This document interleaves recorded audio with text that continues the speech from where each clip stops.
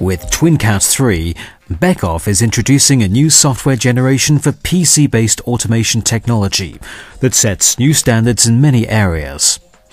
One of the highlights of TwinCAT 3 is the extended automation engineering environment, which uses a worldwide recognized framework. TwinCAT 3 combines programming possibilities for different programming languages in one engineering environment.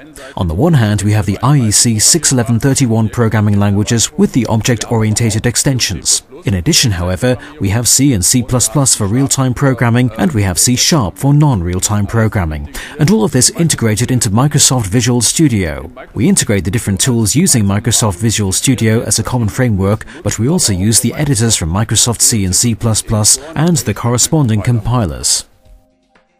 Modules that can be created in different programming languages are executed in real time in the Extended Automation Runtime.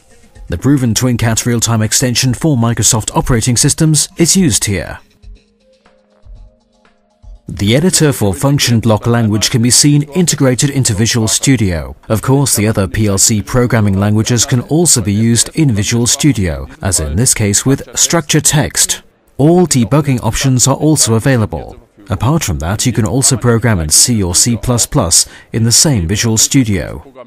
Beyond that, TwinCAT 3 offers the possibility to create objects in MATLAB Simulink. One of the new options offered by TwinCAT 3 is the linking of MATLAB Simulink to the TwinCAT software environment. What is special about this kind of link is that a graphic representation is also adopted at the same time, which serves not as a picture, but as an interactive user interface for changing parameters at runtime. Of course, well-known features of MATLAB Simulink are also possible, such as the external mode for the monitoring of parameters at runtime.